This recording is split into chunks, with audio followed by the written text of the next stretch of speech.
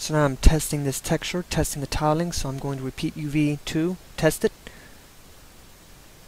repeat 3 and 3, hit G to repeat the command of testing the texture, 512 by 512.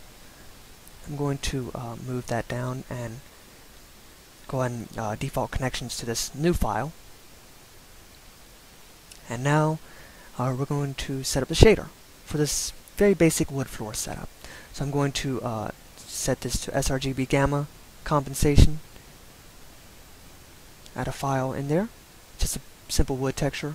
Increase the reflectivity a little bit, so 0.95 reflectivity, and I found that uh, glossiness of 0.3 is fine. Increase the samples. Index of refraction 3, and use the Fresnel reflection. So I've simply added a bump map.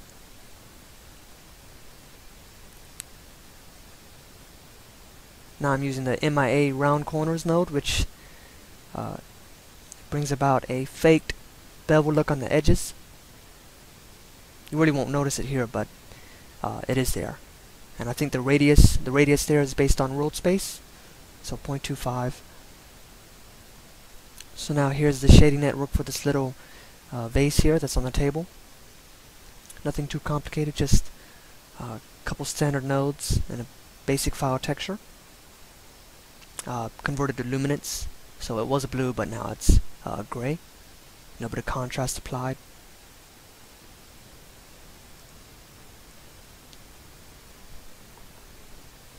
So now in this, uh, I'm just simply doing some automatic mapping here and selecting these UVs and just going to uh, align them a little bit better.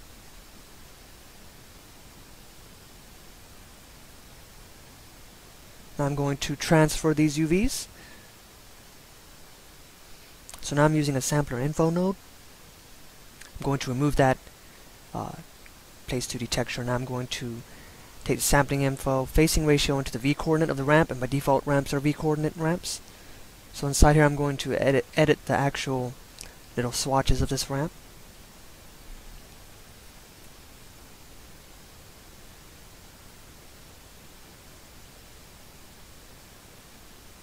Now that's the bottom color. Here's the uh, next color uh, picking that one down there and I'm going to change it a little bit. You can see that uh, I'm just changing the weight a little bit of roughness so add a little bit of or diffuse in there.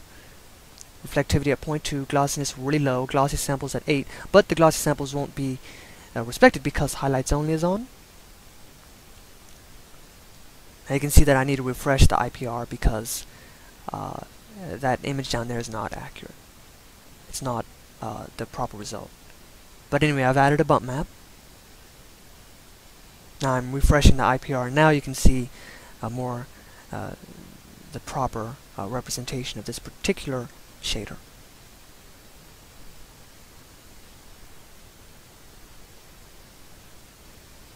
So now here's a pillow and I'm using a, a, a cloth procedural texture. Just changing the settings and playing with it using a bump map applying it as a bump map.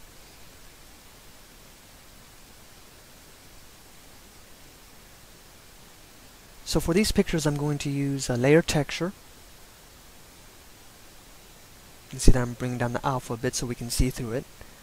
Uh, again, applying the sRGB gamma compensation, adding a file in here, standard 8-bit image, uh, regraphing that network. You can see that through the gamma, you can see the picture behind it. going to create a ramp this ramp will be a radial ramp. You can see that I'm uh, up and out alpha into the alpha of the layer texture. So this ramp is just going to be a black and white ramp, circular, smooth, interpolation.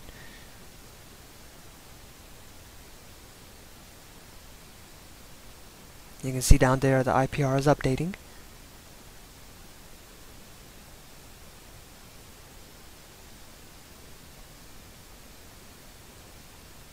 I'm going to add a little bit of detail inside there. And finally one more black swatch at a position 555 so bring it down to black and here's the result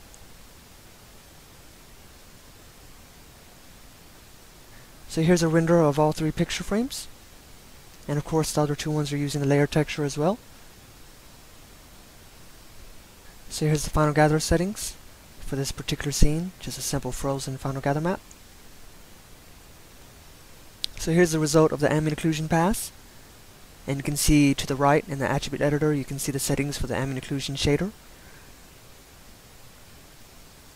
And I've applied this manually to the objects in this layer so that I can respect the refraction in that table there.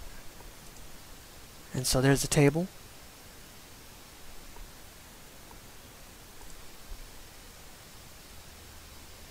So now in a new layer, I'm going to plug in reflection result into the out color of a surface shader. And I'm going to create a new lens shader. It's going to be a MIP render subset, which is a production shader library node.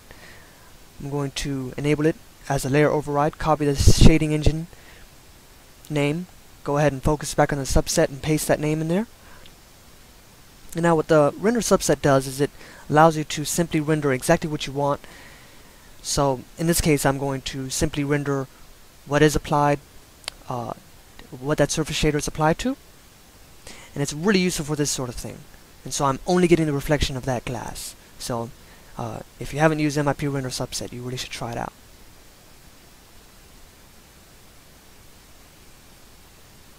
So now I'm going to do the same thing here with the sky. I'm going to isolate the sun, the direct light.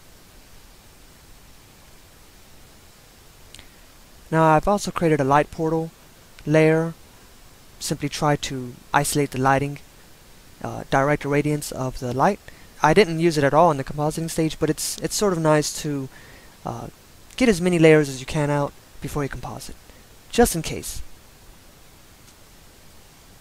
I also rendered out a facing ratio pass, as well as a matte pass, but I didn't, again, I didn't use any of these in the compositing stage, but it's, it's again, just in case, it's good to render out as many passes as you have time for.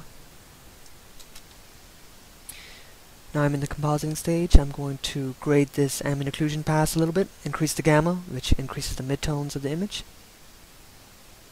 Now it's going to be piped in as a mask to a color correct, I'm just going to increase the saturation in the areas that it affects and now bring down the gain and that's where the actual ambient occlusion effect comes in.